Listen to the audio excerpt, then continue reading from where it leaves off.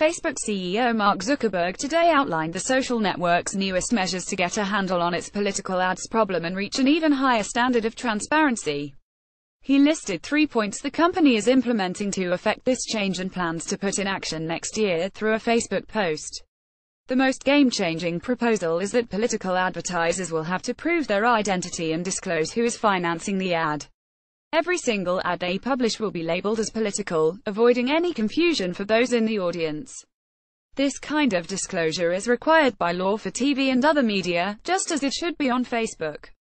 This will help fight against illegally financed campaigns as the social network has faced trouble for not being able to catch fake news and advertising over the past year as a result of the 2016 campaign.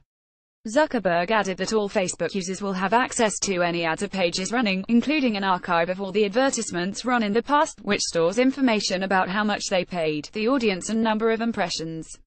The company is planning to use its machine learning algorithms to identify any political ads, as well as increasing the number of members on its review team in order to keep a close eye on this kind of data.